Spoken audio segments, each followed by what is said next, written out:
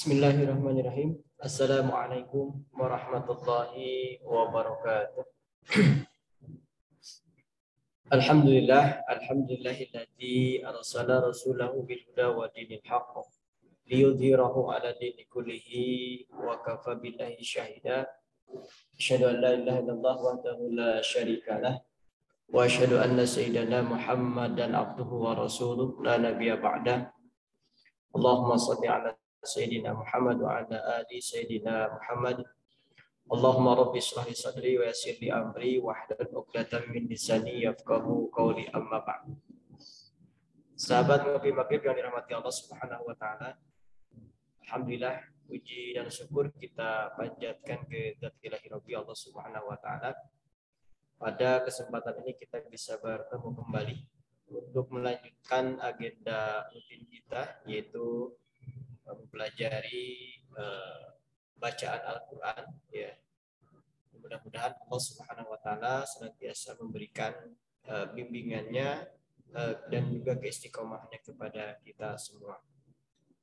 Salawat dan salam tak lupa kita curah limpahkan pada junjungan kita Nabi, Nabi besar Muhammad Sallallahu Alaihi Wasallam juga kepada keluarganya, para sahabatnya dan kepada umatnya hingga akhir zaman yang mudah-mudahan dengan kita istiqomah mengikuti apa yang beliau uh, teladankan kepada kita ya kita menjadi orang-orang yang kelak mendapatkan syafaatnya di yaumul kiamah.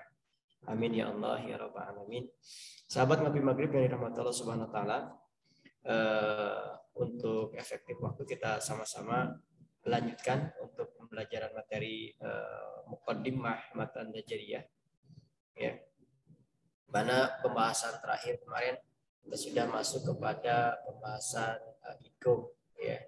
Kemarin diawali dengan penjelasan terkait dengan uh, apa namanya pemetaan ikum bahwa ikum itu dibagi menjadi empat uh, dimensi atau empat perspektif ya. Jadi empat apa namanya empat bisa dikatakan juga empat cabang. Yang pertama dilihat dari sisi makhraj dan sifat ya. Kemudian yang kedua dilihat dari sisi harokat dan sukun Kemudian yang berikutnya dilihat dari sisi asimilasi atau peleburan. Ya. Kemudian yang keempat itu ada uh, dilihat dari sisi guna gitu atau dengung. Sehingga idgom itu memiliki empat empat apa namanya empat cabang gitu ya cabang terkait dengan uh, penyebutan istilah idgom ini. Nah, kemarin yang pertama kita akan bahas dulu dari idgom ditinjau dari uh, perspektif uh, sifat dan huruf ya. Mohon maaf, dari sisi makhluk dan sifat huruf. Kemarin kita sudah bahas ya di apa di pertemuan sebelumnya. Tinjau dari sisi sifat ya dan huruf ya. Ini idgom itu dibagi menjadi tiga. Ada mutamasilen, kemudian ada mutajanisen, ada mutakoriben.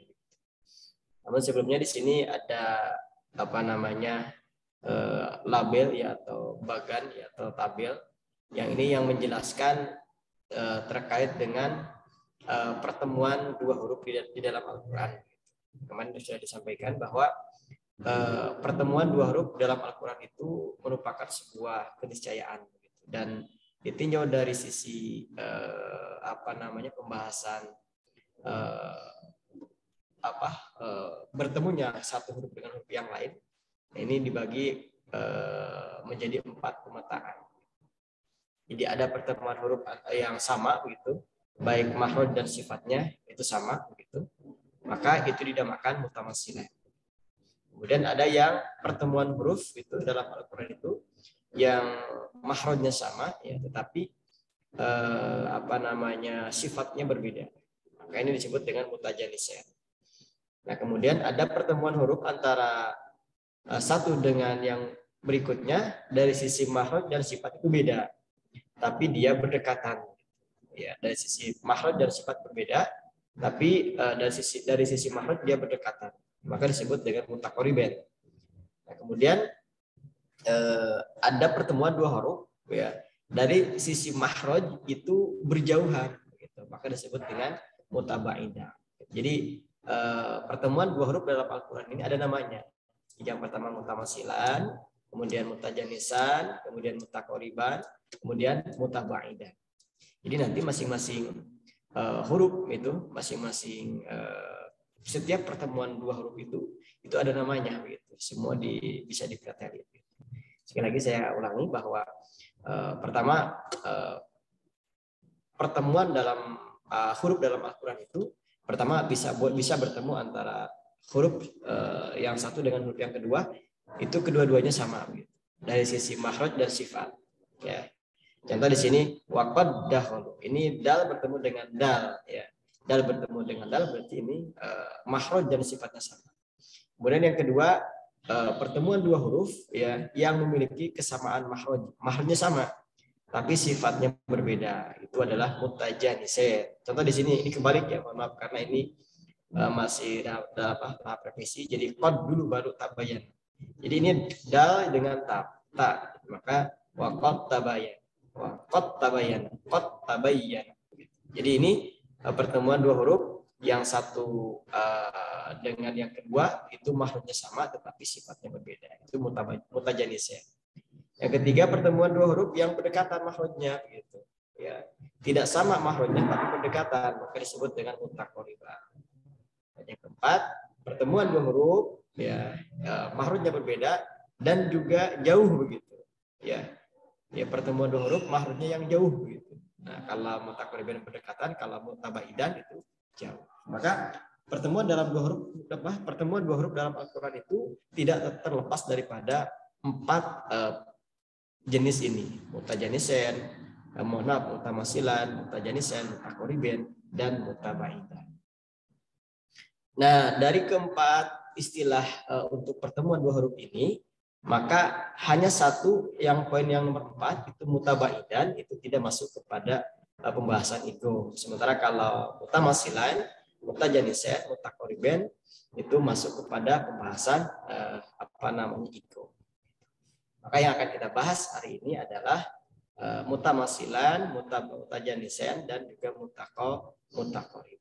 Sementara untuk mutabaidan itu sebatas uh, teori saja, sebatas pengetahuan bahwa uh, di luar pola mutamasilen, mutajanisen, mutakoriben, maka itu adalah mutabaidan. Baik, kita lanjut. Kemarin sudah dibahas terkait dengan mutamasilen, ya insya Allah. Jadi mutamasilen itu pertemuan dua huruf ya yang mana antara satu dengan yang keduanya itu dari sisi makhraj dan sifat itu sama. Ya, tadi dicontohkan seperti eh, wakot dakhola ya wakot dakhola nah, itu kemarin kemarin sudah kita kita bahas nah kemudian yang yang berikutnya sekarang kita akan masuk kepada pembahasan yang kedua yaitu mutajanisan apa itu mutajanisan? Ya, mutajanisan itu adalah uh, pertemuan dua huruf ya yang memiliki mahrod yang sama ya, tetapi uh, dari sisi sifat berbeda. Nah, dalam Al-Qur'an ya itu dibatasi hanya beberapa saja. Ya, hanya beberapa saja. Walaupun secara teori ya, secara teori ya ini bagi sahabat kopi maghrib yang memang sudah faham makhraj dan sifat begitu. Itu secara teori mutajanisan itu banyak begitu. Karena kan secara secara definisi mutajanisan itu pertemuan dua huruf dari sisi makhraj sama, kemudian dari sisi sifat berbeda. Nah, kita tahu eh, dalam makhraj huruf itu ada beberapa, ada beberapa huruf yang memiliki makhraj yang sama. Contoh misalnya aha itu makhluknya sama di uh, tengah uh, tengah tengah apa tengah mohon maaf di pangkal tenggorokan begitu. Kemudian ain ha juga memiliki makhluk yang sama, sifatnya berbeda di tengah tenggorokan, di tengah tenggorokan atau tenggorokan bagian tengah. Kemudian eh, apa namanya eh, kho dengan goin juga ini makhluknya sama, tapi sifatnya ber berbeda. Berikutnya lari ke huruf lidah misalnya ada jim, shin, ya. Itu juga satu makhraj. Ya. Tapi sifatnya berbeda. Kemudian di situ masuk masuk masuk ujung lidah. Ujung lidah ada uh, ko data itu sama. Kemudian za sa so itu sama. Kemudian ta za zo itu sama. Kemudian masuk ke bibir. Ya kan ada dua bibir. Ba, apa namanya? Ba, ma, waw atau ba, mim, waw. Itu makhluknya sama. Maka kalau kita berbicara mutajanisan, ya ketika dilihat teorinya bahwa mutajanisan itu adalah pertemuan dua huruf yang memiliki makhraj yang sama tetapi sifat berbeda. Maka secara teori ini itu lebih daripada ini begitu. Jumlahnya kalau kalau kita itu itu mencapai 30 begitu. Yang terkategori mutaja mutajanisan gitu. Itu dilihat dari sisi uh, penjelasan secara teori. Hanya saja yang ada dalam Al-Qur'an ya yang yang tercantum dalam Al-Qur'an itu hanya ini saja begitu ya. Jadi hanya pola ini saja. Ba bertemu mim. Ya, ta bertemu dal, ta bertemu to. Ya, ta bertemu za, kemudian da bertemu uh, ta, za bertemu zo, to bertemu ta. Nah, ini dalam Al-Qur'an begitu. Kalau secara teori lebih dari 30 begitu. Pasangan-pasangannya begitu. Karena secara teori mutajadisan itu sekali lagi pertemuan dua huruf yang mahrajnya sama tetapi eh, apa namanya eh, sifatnya berbeda. Nah ini contoh-contohnya. Maka ini mesti dihafal ya karena hanya eh, tujuh. Nah ini disebut dengan mudgom ya ba ta sa da zal ya zal zal po ini mudgom. Nah sementara huruf yang kedua disebut dengan mudgom fi mim dal po za ta zo sa ya misalnya di sini Ba bertemu mim, contohnya irkam ma'ana. Irkam ma'ana. Nah, ini tidak boleh kita membaca irkab ma'ana. Maka huruf kalkolanya hilang. Karena dia diidgumkan. Irkam ma'ana. Ya. Kemudian tak bertemu dengan uh, da. Askolad da'wa. Askolad da'wa. Tulisannya askolat da'wa. Askolat da'wa. Kemudian uh, ta bertemu dengan to ya ta bertemu dengan to lahammat to lahammat to ifatun ya ta bertemu to kemudian yang berikutnya eh, ta ya bertemu dengan za ya eh, sambil kita merujaah ta dengan za itu di mana mahrudnya mahrudnya ada di uh, ujung lidah nempel ke ujung gigi seri atas. Ya, ada tiga huruf di situ. Ada ta, za, sama zo. Ya, kemudian di sini polanya ta bertemu za. Yalhaz dzalika. Tidak boleh yalhaz dzalika, tapi yalhaz dzalika. Ya. Kemudian ada uh, dal bertemu ta. Nah, dal bertemu ta atau dal dengan ta itu ta ini di mana makhluknya? Dal sama ta itu makhluknya ujung lidah nempel ke pangkal gigi seri atas bersama dengan huruf to. Ta, da, to. Maka pertemuan antara da dengan ta itu masuk mutajanise. Contohnya kot tabayyan.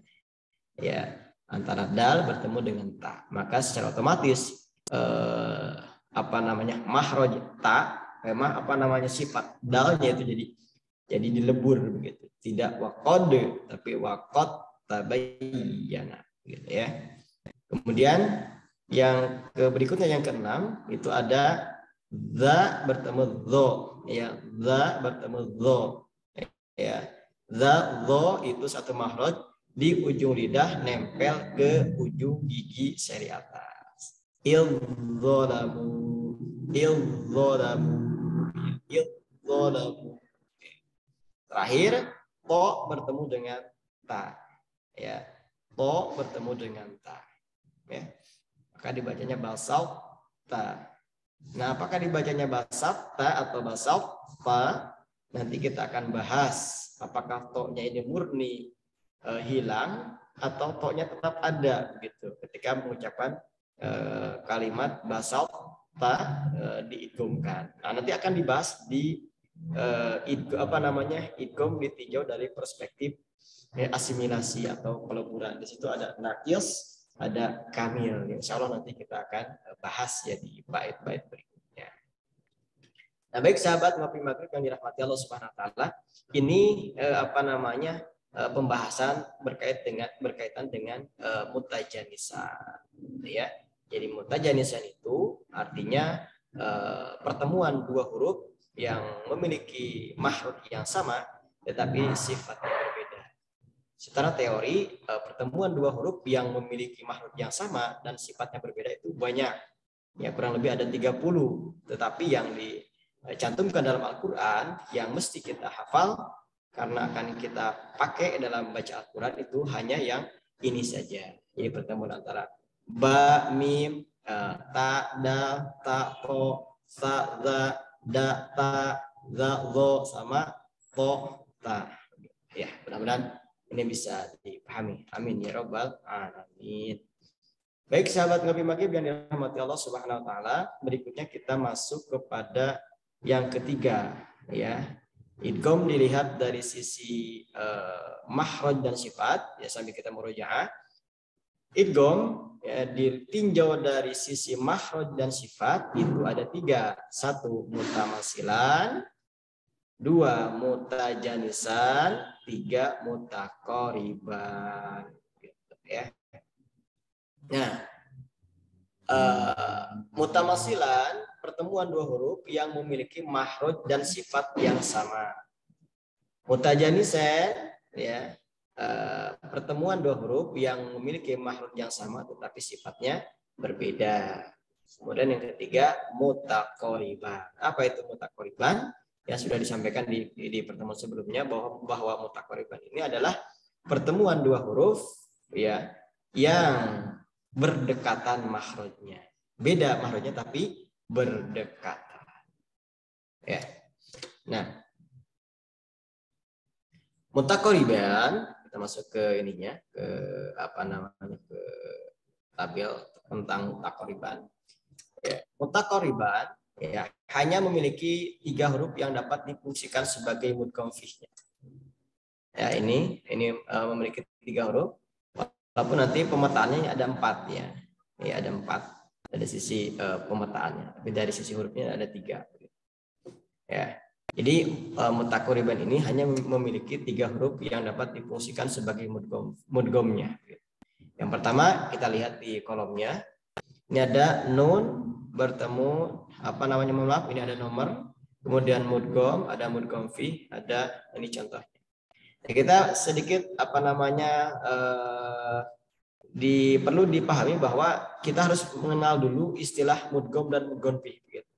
Jadi kalau pertemuan dua huruf itu, huruf yang pertama disebut mudgom, kemudian yang huruf yang kedua disebut dengan mudgomfi. Maka yang yang dilebur itu itu adalah uh, mudgom gitu. Masuk kepada suara mudgomfi. Ya. Contoh misalkan ini uh, mutakoriban ya. Kof bertemu dengan kaf maka kof ini sebagai mudgom, kemudian kaf sebagai mudgom fi. Maka suara kof ini dilebur kepada suara kaf. Jadi suara mudgom ya dilebur kepada suara mudgom fi. Ya, contoh misalkan ini yang mutakoriban. Kof bertemu dengan kaf. Dia mahrujnya berbeda, tapi berdekatan. Ya, misalnya eh, apa namanya mahraj kof Kop itu ada di uh, pangkal lidah paling dalam. Ya. Sementara kaf itu ada di pangkal lidah tapi tidak terlalu dalam begitu. Artinya sama-sama pangkal lidah tapi dia berbeda begitu. Maka di sini uh, berdekatan. Kof dan kaf ini masuk kategori mutakoriban karena dia uh, berdekatan. Gitu. Contohnya nakhlukum, nakhlukum. Ya, nah kofnya dimasukkan kepada kaf. Bagaimana cara baca nahlukum? Apakah murni nahluk langsung ke kaf ya atau nahluk um begitu atau ada kopnya suara kopnya dulu begitu. Nah nanti ini akan kita bahas di idgom perspektif eh, apa namanya asimilasi atau idgom dilihat dari eh, ditinjau dari sisi eh, peleburan begitu atau asimilasi. Nanti ada nakis atau eh, kami, insya Eh, di pertemuan apa namanya di materi selanjutnya. Mudah-mudahan kalau hari ini ke, apa namanya masih ada waktu bisa langsung kita bahas. Tapi kalau tidak berarti nanti kita akan ketemu uh, di pertemuan berikutnya. Karena kita masih sekarang baru membahas idgom dilihat dari sisi sifat dan huruf. Yang ketiga adalah mutakuriba. Nah itu ya pertama.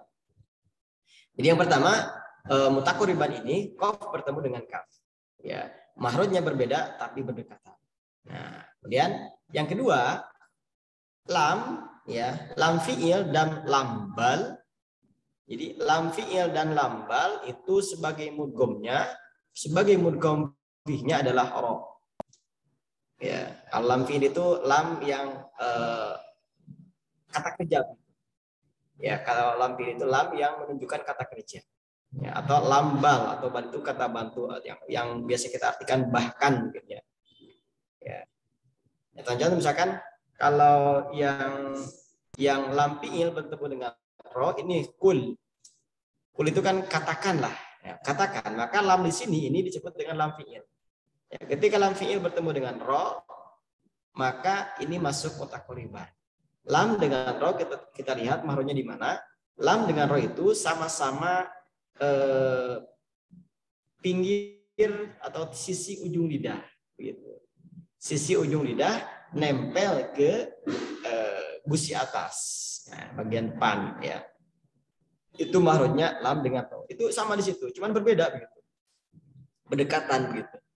Kalau lam itu seluruh bagian ujung lidah gitu, kalau ro itu setengahnya begitu, setengah bagian dari ujung lidah yang nempel kepada eh, apa namanya eh, busi eh, bagian depan. Itu tiga huruf di situ. Ada lam, ada ro, kemudian ada nun.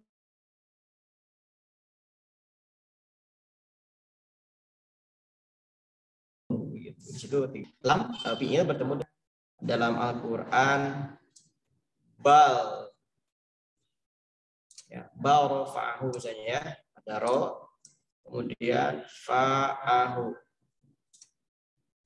Nah ini contoh ini lam yang uh, bal ya lam yang bal lam di kata bal. Jadi bal tulisannya bal rofa'u maka dibacanya bar rofa'u.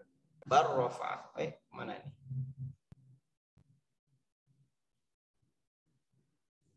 Nah ini ya. Jadi kalau yang lam bertemu ro itu kur kurrobi kurrobi wa kurrobi. Tidak boleh wa robi karena ini masuknya idgom ya, ya mutak kedua kemudian ini juga sama yang bal yang lam uh, kata sebagai kata bantu ya atau kata penghubung bal yang artinya bahkan barrofa tidak boleh dibaca bal rofa tapi barrofa kecuali memang ada hukum ini eh, saktah misalnya dalam surah kalabal. Nah, itu surah apa?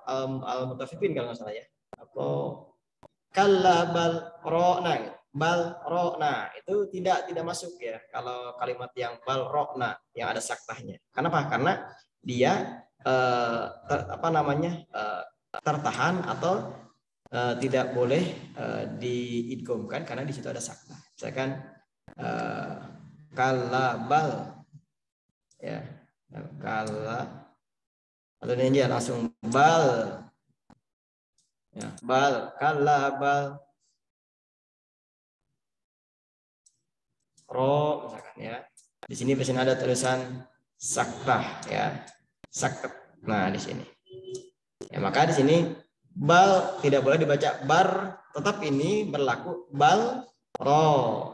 Artinya mutak di sini tidak tidak tidak tidak digunakan untuk yang uh, riwayat Hafs ya yang dipakai uh, kebanyakan di, Indonesia. Walaupun riwayat yang lain ada yang ini pun sama di uh, diidghamkan kalabar tapi uh, yang digunakan kebanyakan di kita gitu yang mengambil riwayat Imam Hafs begitu ini apa namanya tetap yang kuat itu adalah saktahnya sehingga bacanya kalabal ro gitu. tidak kalabar tidak seperti itu. Ya. Itu terkait dengan uh, yang ketiga lam uh, lam tak lam fiil bertemu dengan lam uh, lam fiil dan lam bal bertemu dengan ro. Itu poin yang kedua dari mutakoribah.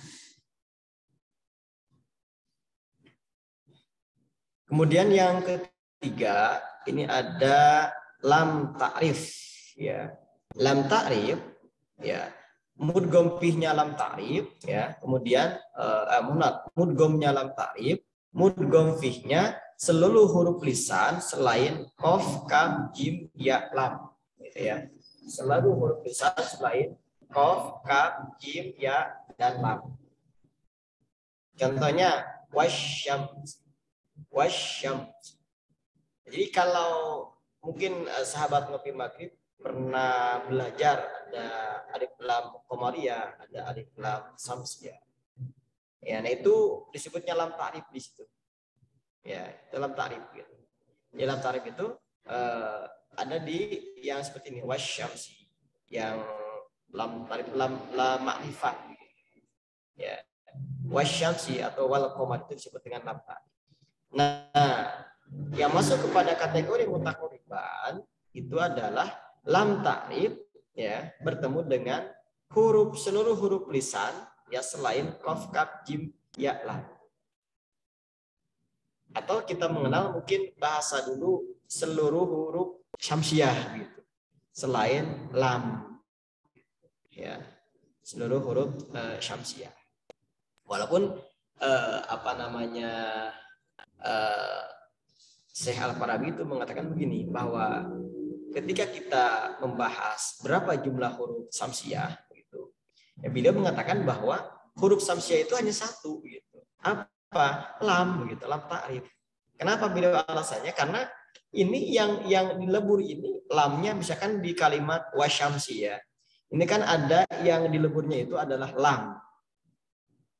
Wasyams. Berarti yang idgomnya apa? Itu ada lam begitu. Yang leburnya itu adalah lam. Atau misalkan di kalimat yang lain wadduha. Ya, yang di leburnya itu huruf lam atau huruf don. Huruf huruf lam gitu. Sehingga kata beliau eh, bahwa huruf samsiah itu hanya satu yaitu lam. Adapun eh, shin, bo, ta dan lain-lain ya yang kita biasa sebut itu huruf samsiah itu adalah mudgham fi kata beliau seperti itu penjelasan maka eh, apa namanya eh, apa kita harus mengenal apa itu idgham mudgham dan dan mudgham fi. Jadi yang biasa sebut kita idgham samsia atau huruf-huruf samsia itu namanya di sini disebutnya mudgham fi. Ya, karena huruf samsia itu hanya satu, lam dengan alasan karena yang dilebur itu adalah lamnya, bukan huruf samsiahnya. Sementara apa, apa namanya bukan huruf setelahnya gitu. Bukan huruf yang biasa kita menyebut huruf syamsiah. Nah, begini ya. Ini nih, lam uh, ta'rif bertemu dengan seluruh huruf lisan selain kof, kaf, jim, ya, lam. Nah, di pertemuan beberapa pertemuan sebelumnya saya pernah menyampaikan bahkan sering menyampaikan bahwa uh, makhraj dan sifat itu itu adalah sebagai kuda-kuda kalau dalam pencak silat sebagai dasar untuk kita melanjutkan pembahasan kajian tentang ilmu kiroat ini uh, berikutnya. Artinya apa? Maka ketika kita belum paham, belum hafal, apalagi belum paham mahmud dan sifat, ini akan bingung gitu. Ketika seluruh huruf lisan selain kof, kaf, jaya. Huruf lisan apa saja ya? Maka kita harus uh, hafal. Oke, sahabat Nabi Maghrib. Kita sambil mereja huruf lisan. Itu ada berapa? Kita itu huruf lisan. Ya, dari mulai uh, lisan itu artinya lidah ya. Dari mulai uh, pangkal lidah. Dari pangkal lidah itu, itu ada dua. Dalam uh, kof paling dalam. Kemudian ke depan sedikit ada kaf dua ya. Kemudian dari pangkal lidah masuk kepada tengah lidah. Itu ada tiga huruf. Jim shin ya. Itu ada lima ya. Jim shin ya. Kof kaf jin jim shin ya Kemudian masuk ke eh, apa namanya pinggir lidah. Itu ada huruf atau sisi lidah. Bo 6. Ya, dari situ masuk kepada eh, apa namanya sisi ujung lidah yang dihuni oleh tiga huruf ya walaupun letaknya berbeda ada lam kemudian ro kemudian nun ya, ada ada sembilan ya ada sembilan Kemudian di situ masuk kepada ujung lidah nempel ke pangkal gigi seri atas. Ada to, ya 10.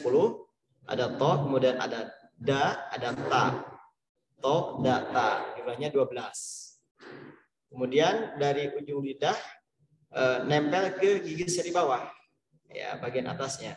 Ada sa atau sin, zai, sama sod. Itu 15. Ya, yang terakhir huruf lidah itu ujung lidah nempel ke pangkal gigi seri atas. Eh, mohon maaf, ke ujung gigi seri atas. Ada fa, ya barusan udah 15, ada fa, za, zo. Jadi jumlah semua huruf lidah itu adalah 8, 18. 18 diambil kof, ka, jim, ya, lam. Ya, diambil 1, 2, 5. Berarti jumlah huruf yang masuk kepada idgham mutak apa eh, yang masuk kepada mutakoriban ya ketika lam ta'rif bertemu dengan huruf eh, apa namanya huruf lidah selain kof kaf ja ya lam maka jumlahnya huruf y tersebut ada 13 ya ada 13 ya nanti eh, kof kaf tidak ja berarti sya masuk bo masuk kemudian ro, nun, uh, ta, da, to, kemudian sin, zail, sod, fa, za, do. Itu jumlah dari huruf yang uh, 13 ini. Ya. Nah ini uh, apa namanya uh, mutakoriben yang ketiga yaitu lam tarif bertemu dengan selain uh, bertemu dengan seluruh huruf lisan selain kof, kaf, ja, yam, ya, lam. Nah, kemudian yang terakhir yang keempat yang masuk kepada uh, mutakoriban ini ini adalah tanwin ya atau uh, maaf nun atau tanwin ya bertemu dengan huruf lam yarwi. Lam mim ya ro waw. Maka ini juga masuk kepada mutakoriban atau uh, lam uh, yarmaluna ya itunya naknya hilang. Ya yarmalu saja. La lam lam mim ya ro waw. Misalnya kan gini contohnya mir rabbihim ya. Nun bertemu dengan ro maka tidak boleh dibaca min rabbihim tapi dia mir rabbihim. Nah ini masuk juga mutakoribat. Nun bertemu dengan ro itu berdekatan dari sisi uh, mahrojnya begitu ya maka ketika ditanya mir robbihim ini disebut dengan mutakoriban. Ya. Kalau dilihat dari sisi guna, misalkan kita biasa apa namanya mir robbihim ini idgom uh, bila guna. Nah itu dilihat dari sisi uh, asimilasi peleburan. Tapi dilihat dari sisi mahroj dan sifat, maka ini hukumnya disebut dengan masuk kepada mutakoriban. Ini contohnya ya. Jadi semua nun bertemu lam, nun bertemu mim, nun bertemu ya, nun bertemu ro, nun bertemu waw gitu. Ya atau tanwin. Ya tanwin itu kan uh, sama bunyinya dengan nun gitu. An, in, un gitu. Misalnya ghafurur rahim. Ya, misalkan ghafurun ghafurur rahim. Misalkan ada ini ya. Ghafur ada ini tanwin di sini. Ya, ini ada tanwin ini ada ro, gofurur. Oh ini ini ya, kalau ini kurang tepat nih. Kalau misalkan gofurur rahim itu ada ada ada alif lamnya. Ya, tapi ini hanya untuk contoh contoh saja ya, walaupun kenyataannya tidak ada. Misalkan ini setelah tanwin langsung huruf ro, ya gofurun rahim. Makanya dibaca rahim. Gofurur rahim. Jadi ini tanwin bertemu dengan ro. Walaupun dari sisi dari sisi uh, nyatanya bisa jadi ini tidak ada karena kalau nggak salah kalau kalimat kafur rahim itu ada alif lamnya, itu ada dalam tarifnya. Nah baik sahabat ngopi maghrib yang dirahmati Allah Subhanahu Wa Taala, hmm, ini uh, berkaitan dengan uh, idgom mutakoriban atau uh, ya. Nah, sehingga kalau kita katakan di sini dari nun tak apa nun nun atau tanwin bertemu dengan lima huruf. Berarti di sini ada lima ada lima lima, lima ada lima ini. Ada lima jen apa namanya? Uh, berjumlah lima begitu. Nun bertemu lam nun bertemu mim nun bertemu ya nun bertemu ro nun bertemu waw. Maka menjadi lima lima jenis apa namanya? Lima jumlahnya begitu. Kemudian kalau yang tadi lam tarif bertemu dengan selain huruf kop kap ja ya lam ini jumlahnya 13 berarti 5 tambah 13 18 Kemudian uh, ini satu-satu. Satu, ini satu. Ya. Maka bisa dikatakan jumlahnya idgham mutakoriben ini atau mutakoriben ini yang ada dalam Al-Quran itu jumlahnya ada uh, 15, uh, eh 13 dan 5, 18 tambah 2, 20. Jadi jumlahnya 20 dan ini mesti di dihafal. Nah, baik sahabat ngopi bagi yang dirahmati Allah Subhanahu wa taala, itu uh, pemetaan idgham ya dilihat dari sisi uh, perspektif uh, dan dan sifat. Jadi ada mutamasilan, ada mutajanisen, ada mutaqariban. Ya.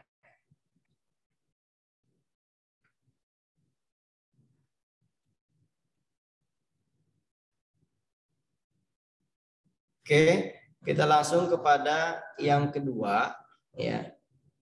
Idgom dilihat dari sisi uh, harokat dan sukun. Ya.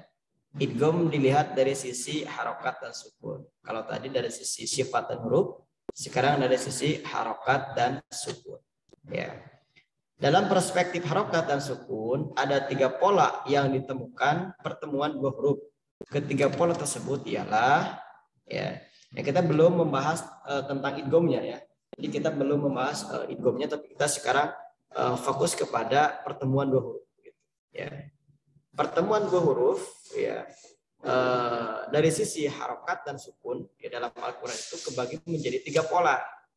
Yang pertama huruf yang pertama ini ya huruf yang pertama sukun dan huruf yang kedua berharokat. Contohnya huruf yang pertama ini the yang kedua the ini ini ini uh, pertemuan dua huruf. Jadi yang satu sukun, yang satu harokat. Jadi huruf yang pertama sukun, yang huruf yang kedua harokat. Maka itu dinamakan sobir. Ya.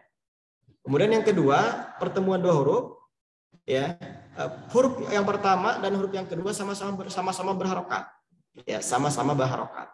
Contoh misalkan di sini, ya arrohimima, arrohimima. Jadi huruf yang pertama berharokat, huruf yang kedua pun berharokat. Maka dia disebut dengan kabir. Ya, sekali lagi kita belum membahas tentang idom ya. Kita belum baru apa membahas terkait dengan pemetaan e, pertemuan dua huruf dilihat dari sisi e, sukun dan harokat. Jadi pola yang pertama yang e, huruf yang pertama sukun, yang kedua harokat. Namanya sogir. Pola yang kedua e, huruf yang pertama berharokat, huruf yang kedua pun berharokat. Namanya kabir. Dan yang ketiga ya e, huruf yang pertama berharokat ini ya huruf yang pertama berharokat dan huruf yang kedua sukun. Ya, kebalikan dari nomor satu. Maka ini namanya mutlak. Ya sebut namanya ini uh, mutlak. Jadi saugir kabir sama mutlak. Nah itu dilihat uh, pertemuan dua huruf dilihat dari sisi mahroj dan dan sifat. Ya. Nah sahabat lebih bagi yang dirahmati Allah subhanahu wa taala uh, dilihat dari sisi idgom, maka nomor satu Sogir dan Kabir itu memiliki eh, tersifati dengan sifat idgom. Tapi kalau mutlak itu tidak tersifati dengan dengan idgom. Sehingga yang akan kita bahas adalah Sogir dan dan Kabir. Ya, jadi kalau misalkan polanya selain Sogir Kabir dalam Al-Quran berarti itu dinamakan uh, mutlak. Ya, nah ini ada penjelasannya. Dari tiga di atas hanya mutlak yang tidak memiliki konsep idgham. Adapun sogir merupakan pola idgham yang ditemukan dalam banyak madhab kiroat. Ya, dalam madhab Al-Quran. Salah satunya, salah satunya ialah madhab yang dianut oleh dianut oleh kaum muslimin eh, dianut oleh kaum muslim Indonesia yaitu riwayat Habs. Ya, sedangkan kabir hanya dimiliki oleh madhab Al-Quran tertentu yaitu riwayat Asusi, dalam perspektif tujuh kiraat, kiraat Abu Amr dan Yakub dalam perspektif eh, sepuluh kiraat kubro. Nah jadi uh, dari sogir kabir ini dua itu yang memiliki konsep itu sogir dengan kabir. Dari dua sogir dan kabir ini yang dimiliki yang memiliki konsep itu ya kebanyakan hanya menggunakan istilah sogir. Ya, Eh, terutama di Indonesia yang yang mengambil riwayat Hafs begitu. Artinya dalam riwayat Hafs itu tidak jarang sekali menggunakan istilah kabir. Kebanyakan itu menggunakan istilah uh, sogir. Gitu. Jadi ketika uh, satu huruf bertemu dengan huruf yang kedua, yang satu hurufnya berharokat, yang kedua berharokat. Itu dalam riwayat hafaz itu tidak dikasih nama. Gitu. Ya, tidak dikasih istilah. Kecuali hanya ada di dua tempat. Gitu. Nah, ini nanti ada penjelasannya. Yang pertama di kalimat makan nani, kemudian dan di kalimat uh, la ta'manunna la ta'manna selain daripada konsep itu ya selain daripada kalimat itu tidak ada istilah uh, kabir. Ya, apa namanya di riwayat Imam Hafs adapun kabir kebanyakan digunakan ini di madhab selain Hafs begitu. Ada riwayat Asusi. Kemudian ada kiraat Abu Amr dan Abu Yakub sahabat Nabi bagi yang dirahmati Allah Subhanahu Wa Taala barangkali uh, ini saja dulu yang bisa kami sampaikan. Nanti di pertemuan berikutnya akan uh, saya ulangi terkait dengan penjelasan uh, sogir, kabir, dan mutak ini, terutama penjelasan tentang uh, kabir ya dan dan sogir begitu. Insya Allah karena uh, waktu juga yang membatasi kami ya.